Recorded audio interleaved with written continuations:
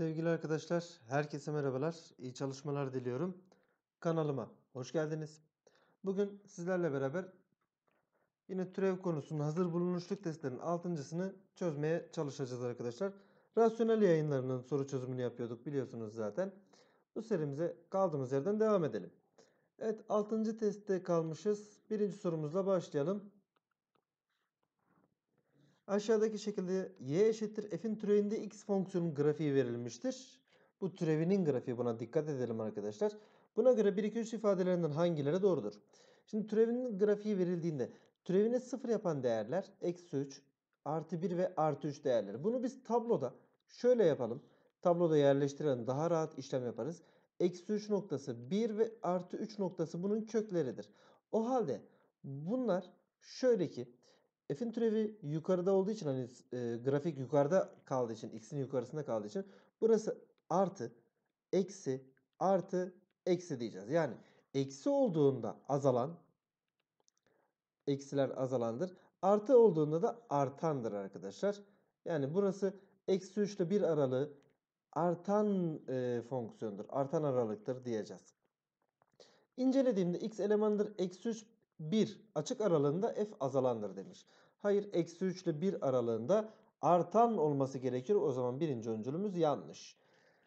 X 3 ile sonsuz aralığında açık aralığında artandır demiş. Baktığımda evet 3'ten sonsuza kadar pozitif olduğu için artandır diyeceğiz. Ya da biz bunu grafiklerde şöyle de e, bulabiliriz. Hani illa burayı çizmek zorunda mısın? Hayır. Ne yapacaksın? 3'ten sonsuza kadar. Eğer ki x'in yukarısında kalmışsa burası artandır. X eksenin altında kalan parçalarda azalan olacaktır. Yani 1'den 3'e kadar azalan. Ki zaten burada 1 ile 3 arasının azalan olduğunu da söyleyebiliriz. Eksi sonsuzdan 3'e kadar, eksi 3'e kadar orası da azalandır. Ama ama eksi 3'ten 1'e kadar yine aynı şekilde artan diyeceğiz. Şimdi f eksi 5 ile f eksi 4 hangisi daha büyüktür bir inceleyelim. Bu eksi sonsuzdan eksi 3 aralığına kadar azalan olduğu için burası azalan aralık azalan aralık. O zaman bak burada seçtiğin iki nokta. Biri eksi 5 diğeri de eksi 4. Normalde eksi 5 mi daha küçük eksi 4 mü? Tabii ki de eksi 5 daha küçüktür. Azalan aralıktan iki tane nokta seçtiğin için fonksiyonların görüntüleri ise tam tersi olacaktır. Yani f eksi 5 f eksi 4'ten daha büyük olacaktır. O yüzden üçüncü öncülümüzde doğru gelecektir. Yani doğru cevabımız denizli 2 ve 3 olmalıdır. Evet geldim ikinci soruya. fx fonksiyonu gerçel sayılar kümesinde daima artan olduğuna göre alınabileceği en küçük tam sayı değeri kaçtır? Şimdi daima artansa f'in türevinin deltası, fx'in türevinin deltası sıfırdan küçük olmalıdır. Daima artan dediği için. O halde arkadaşlar acaba sıfıra eşit olabilir mi? Şimdi burada burada sıfıra eşit olursa çift katlı kök yapıyorduk hatırlarsanız. Yani burası artıysa burada artı olacaktır. Eğer burayı alabiliyorsak yani bunlar dahilse o zaman daima artandır diyebiliriz. Şimdi bir türevini alalım. F'in türevinde x. 3x kare eksi 4x artı a. Şimdi arkadaşlar delta'yı bir inceleyelim. Delta neydi? b kare eksi 4 ac. b'miz eksi 4 karesini aldık. 16. Eksi 4 çarpı a'sı 3 çarpı c kısmında da a var sıfırdan küçük olmalıdır. Şimdi zaten bu soruda eşitlik e, çok da belirleyici değil ama biz burada delta küçük eşittir sıfır almalıyız arkadaşlar. Çünkü çift katlı da olsa kökü, türevinin kökü ya da hiçbir kök olmasa dahi daima artan diyebiliriz. 16 eksi 12a'yı karşı atalım hatta direkt artı 12a olarak geçer. Her iki tarafı 12'ye böldüğümüzde 16 bölü 12 küçüktür a'dan. Burayı da sadeleştirirsem 4 bölü 3 gelecektir. O zaman 4'te 3 birden biraz fazla kere var. Yani 1.3 gibi bir sayıya denktir. Yani bu a değeri de 1.3'ten büyük olacak. O zaman alabileceği en küçük değerde 2 olacaktır. Yani doğru cevabımız Denizli olacaktır arkadaşlar. Evet üçüncü soru. Bir bilgi verilmiş bize burada soruyu çözdürecek olan bilgi. Türevlenebilir bir f fonksiyonun türevinin sıfır olduğu noktalarda türev işareti değiştiriyor ise bu noktalar ekstremum noktalarıdır. Yani türevini aldığında Sıfır olduğu noktalarda türev işareti değiştiriyorsa tablodaki işareti hatırla. Eğer ki artı ise eksi oluyorsa ya da eksi ise artı oluyorsa burada bir ya maksimum ya da minimum değeri vardır deriz. O zaman önce türevini bir alalım. F'in türevinde x eşittir. 3x kare eksi 6x eksi 9. Burayı ben 3'e böldüğümde yani 3 parantezine aldığımda x kare eksi 2x eksi 3 gelecektir. Şimdi çarpanlarını ayırdığımızda burası zaten x ile x'tir. Hangi sayılar sağladı? Bakıyorum. Eksi 3 ve artı 1. Şimdi x eksi 3 x artı 1 diye yazmıyorum. O zaman x eşittir 3 ve x eşittir eksi 1. Hani eksi ise artı 3 artı 1 ise eksi 1 diye yazabilirsiniz direkt pratik olarak. O zaman arkadaşlar bunları tabloda bir gösterelim. Eksi 1 ve artı 3. Burada f'in türevinin işareti artı 3x kare ile başladığı için artı. Burası eksi. Burası da artı olacaktır.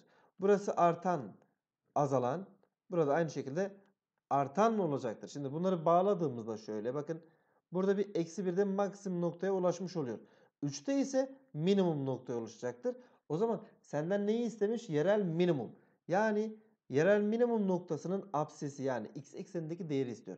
O da yerel minimum noktası 3 noktası olacaktır. Maksimumu sor, sormuş olsaydı ona da eksi 1 derdik.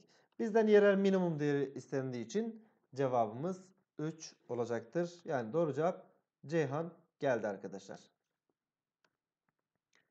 Evet geldim dördüncü soruya. fx eşittir x küp eksi ax fonksiyonu x eşittir eksi 1 absisli noktasında ekstremumu olduğuna göre bu noktanın ordinatı kaçtır? Yani f'in türevinde eksi 1 değeri sıfıra eşittir. Neden? Çünkü burada bir ekstremum var. Ya maksimumdur ya da zaten ne olacak? Minimum olabilir. Başka da zaten bir şey olamaz. O zaman türevini alıp x'in yerine eksi 1 yazalım. f'in türevinde x eşittir. 3x kare eksi a geldi. x'in yerine eksi 1 yazdığımızda f'in türevinde eksi 1. 3 çarpı eksi 1'in karesinden 1. O da 3 eksi a gelecektir. Onu da sıfıra eşitlersem a değerimiz de buradan artı 3 gelecektir. Şimdi a'yı götürüp yerine yazdığımızda bu fonksiyon fx eşittir. fx eşittir. Şöyle çirkin yazmayalım. Biraz düzenleyelim.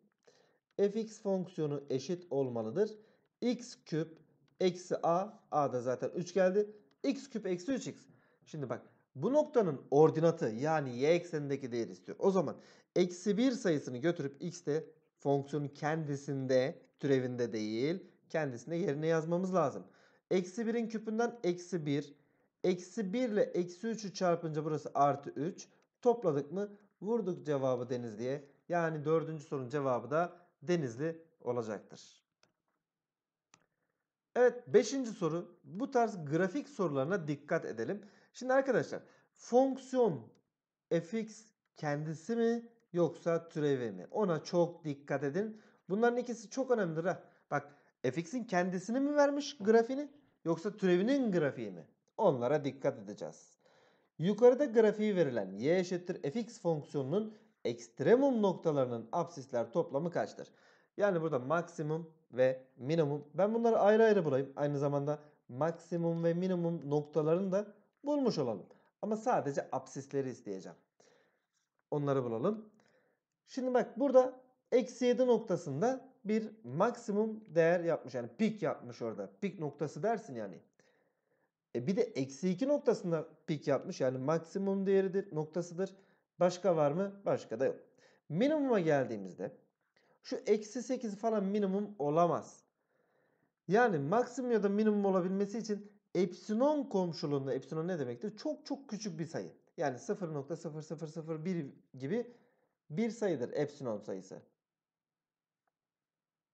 Şöyle hemen yerine alayım bunu. Epsilon 0,0000 diye gidiyor. 1 şeklinde çok küçük. Şimdi bak burada eksi 8'in sağında ya da solunda kendisinden daha küçük değeri var mı? Var. O zaman burası minimum olmaz. Neresi minimum, minimumdur? Eksi 5 başka bir de 3. Başka da yok sanırım. Evet. O zaman bunların toplamı absisler toplamı demiş. Burası eksi 9. Burası da eksi 2 gelecek. Eksi 5 artı 3'ten dolayı topladık mı doğru cevap eksi 11 Bursa olacaktır arkadaşlar. Evet geldim 7. pardon 6. soruya. Buraya dikkat işte bak f'in türevinin grafiği. Hatta şurada da e, yazmışlar. Yukarıdaki yukarıda türevinin grafiği verilen bak türevinin grafiği verilen y eşittir fx fonksiyonun ekstremum noktalarının absisler toplamı. Şimdi arkadaşlar burada şunu yapmamız lazım. Eşitsizlik tablosunu çizip eşitsizlik tablosunu çizip kökleri bulmam lazım. Bu fonksiyonun köklerinden biri eksi 2, diğeri 4. Çift katlı oraya dikkat. Diğeri de 7. O zaman bunları sıraya koyduğumuzda eksi 2 çizdim altına. 4 bir tane de buraya çizelim. Bir de 7. Başka bir noktada kesmiş mi? X ekseni hayır. Şimdi grafik sağ ucu x eksenin altında kaldığı için burası negatiftir. Yani burayı eksiyle başlatacağız. Bu arada bu arada burada çift katlı demiştik 4'e. O zaman buraya hemen bir çift kök yapalım. Buralar eksi 2 ile 7 zaten tek katlıdır. Eksi o zaman burası artı. Bura bir daha artı. Burası da eksi olacaktır. Azalan, artan, artan, azalan. Bak burada bir minimum var. Eksi 2 noktası minimum değer noktasıdır. Burada da bir maksimum var. 7 de maksimum noktasıdır. Ama 4'te herhangi bir max ya da minimum noktası yoktur arkadaşlar. O yüzden ekstrem noktaların absisleri biri eksi 2 diğeri de zaten 7 gelecektir. Toplamları da artı 5 eşit olacağından dolayı doğru cevap Ceyhan olacaktır arkadaşlar. Bu soruda teğeti görmek önemliydi. Orayı gördünüz mü? Oldukça basit bir soru aslında. Evet geldik 7. soruya. Aşağıda fx fonksiyon grafiği verilmiştir. Çizmişler şöyle doğrusal parçalardan oluşuyor. Buna göre 1 2 3 ifadelerinden ifadelerinden hangileri doğrudur? x eşittir 2 absisli noktada f süreklidir. Evet zaten 2 noktasını elini kaldırmadan çizebildiğin için burası süreklidir. Doğru. x eşittir 2 absisli noktada f'in yerel minimum noktasıdır. Evet bu 2'nin noktasından daha küçük bir değer var mı? f2'den daha küçük? Yok en küçük de zaten 1'e gidiyor. O zaman bu da doğru. x eşittir 2 absisli noktada f türevli değildir. Neden? Türevlidir demiş. Burası kırık olduğu için kırık olan noktalarda türev yoktur. Yani türev diyor ki orada beni kırdılar. Yani kalbim kırıldı o yüzden maalesef orada türevim mürevim hiç yoktur. Ha, sürekli olabilir mi? Evet ama türevi var mı? Kesinlikle hayır. Kırık olan yerlerde türev yoktur arkadaşlar. O yüzden cevabım 1 ve 2 olacak Denizli'dir. Bakalım cevap anahtarına evet. Şimdi bak zaten kopuk ise şöyle ise bir grafik. Bu noktada kesinlikle türev yok. Burada türev yoktur arkadaşlar. Eğer ki şöyle gelirse devam ediyor ama bura tanımsız olursa yine türev yok. Bu noktada türev yoktur. Ama şöyle gelirse burada kırık değilse yani dümdüz devam etmişse dümdüz devam etmişse işte burada türev var deriz. Ama fakat şöyle gelir tanımlı sonra biraz kırılmışsa eğer burada kırıldığı için yine türev yoktur diyeceğiz. Anlaşıldı mı arkadaşlar? Bu dörtlüye dikkat edelim. Evet geldim 8. soruya. Biraz büyütüyorum. Yine bir grafik verilmiş. Aşağıda fx fonksiyon grafiği verilmiştir. Buna göre bu ifadelerden hangileri doğrudur? Bakalım hemen. 2 açık 4 açık noktası pardon 2'ye 4 noktası bu e, aralık olarak değil de nokta olarak yani apsisi 2 ordinatı 4 olan nokta zaten burasıdır. Şurası. O zaman 2'ye 4 noktası f noktasının mutlak maksimum noktasıdır. Evet. Zaten bu noktadan daha üstte bir grafik parçası ya da noktası var mı? Yok. O zaman burası mutlak maks bak yerel maksimum değil. Mutlak maksimum yani en büyüğün en büyüğü gibi düşün. F'in türevinde 3. Hemen baktım 3 noktasından bir teğet geçtiğimde burası 0'dır. F3, F3 de zaten 0. Çünkü kaçın hizasında? 0'ın hizasında. O zaman bu da 0. Aynı şekilde bu da 0. O zaman ikinci öncülümüz de doğru gelecektir. F'in türevinde 4.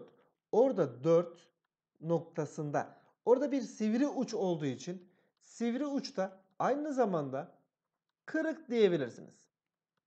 Kırık. O zaman burada türev yoktur demesi gerekirken cevaba 0 demiş. Yanlış demiş. O yüzden cevabım Bursa 1 ve 2 olacaktır arkadaşlar. Dokuzuncu soru. Aşağıdaki grafiklerin hangisinde x eşittir a absisli noktada yerel maksimum noktası yoktur? Yerel maksimum yoktur diye sormuş. Burada zaten A seçeneğinde bir yerel maksimum var. Daha büyüğü yok. Bak yerel diyor. Mutlak demiyor. Burada var. A'da var. B şıkkında burada da zaten bundan daha büyüğü yok. Hatta bu hem yerel maksimum hem de yerel pardon mutlak maksimum değeridir. A şıkkı da mutlak maksimumdur. Aynı zamanda yerel de maksimum. Eğer bir ifade hem mutlak hem de mutlak maksimum ise hem de yerel maksimum da diyebilirsiniz. O zaman C'ye bakalım. C noktasında tanımlı olduğu aralık yine mutlak maksimum yani en üstteki değer en büyük değerdir. O zaman burada da bir yerel maksimum da var. e, Mutlak maksimum değeri de vardır. D seçeneğine geldiğimizde burada alabileceği en büyük değer bak burasıdır. Bunun da bir yerel maksimum değeri vardır.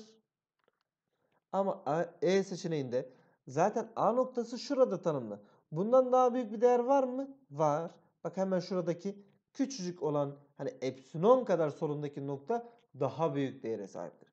O yüzden burada bir yerel maksimum falan yoktur arkadaşlar.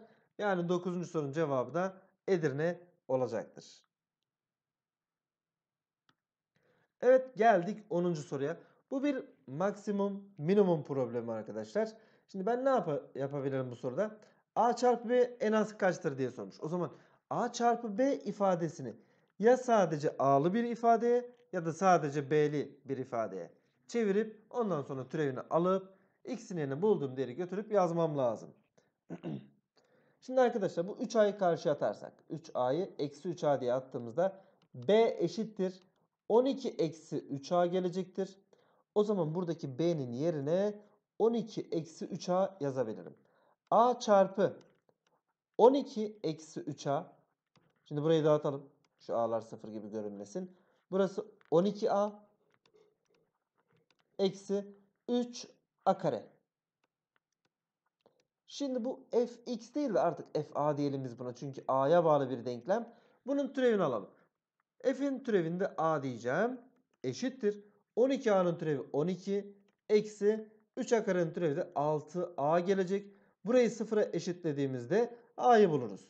a eşittir 2 gelecektir. Şimdi a yerine bak buradaki a yerine götürüp 2 yazdığında o zaman bura 12 eksi 3 kere 2'den 6 çıkartırsam oradan da b'yi bulacağım. b eşittir 6 geldi.